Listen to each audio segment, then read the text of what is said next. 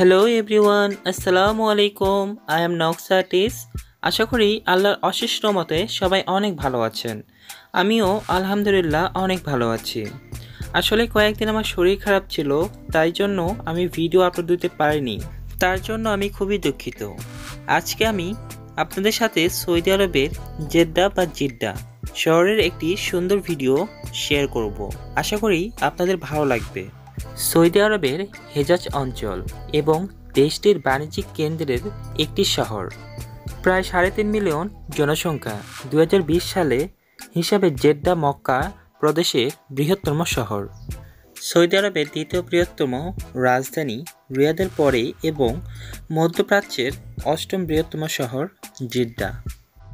লোহিত সাগরে অবস্থিত জিদ্দা ইসলামিক বন্দরটি বিশ্বের ছত্রিশতম বৃহত্তম সমুদ্র বন্দর এবং মধ্যপ্রাচ্য হল দ্বিতীয় বৃহত্তম এবং দ্বিতীয় ব্যস্ততম সমুদ্র বন্দর। জেড্ডা শহর মক্কার মূল প্রবেশদ্বার পূর্বে পঁয়ষট্টি কিলোমিটার, চল্লিশ মাইল অবধি অবস্থিত এবং দ্বিতীয় পবিত্রতম শহর মদিনা, উত্তরে তিন কিলোমিটার, দুশো বিশ মাইল অবস্থিত। সৌদি আরব এবং আমেরিকা দুটি কনসুলেটের মধ্যে একটি, আফগানিস্তান, ফ্রান্স, জার্মানি, গ্রিস, তুরস্ক, ফিলিপিয়ান, ভারত, পাকিস্তানের মতন আদার সাতষট্টি দেশের কনসুলেট সহ জেড্ডায় অবস্থিত।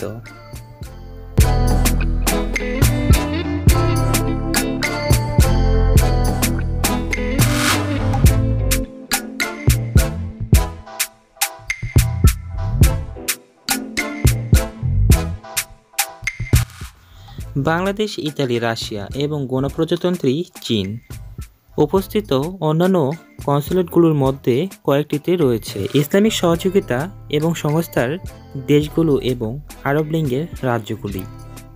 হ্যালো এভরিওয়ান আসলে আমি এতটা স্টোরি জানি না, তবে আমি যেটুকু জানি সেটুকু আপনাদের সাথে শেয়ার করছি।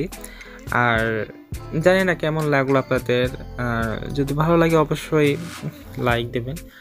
সো নেক্সট ভিডিওতে আপনাদের সাথে আমি জিদ্দা শহরের সমুদ্র বন্দরটি আপনাদের দেখাবো। ওটাও ভালো লাগবে আশা করি। সো ওই ভিডিওটা কয়েকদিন পর আমি শেয়ার করব।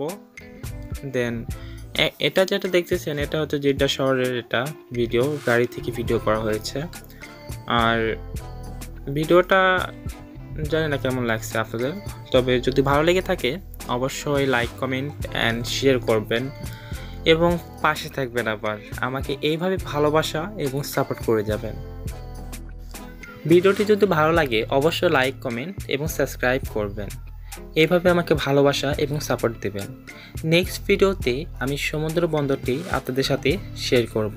আশা করি আপনাদের ভালো লাগবে। সো সবাই ভালো থাকবেন, সুস্থ থাকবেন। খোদা হাফেজ।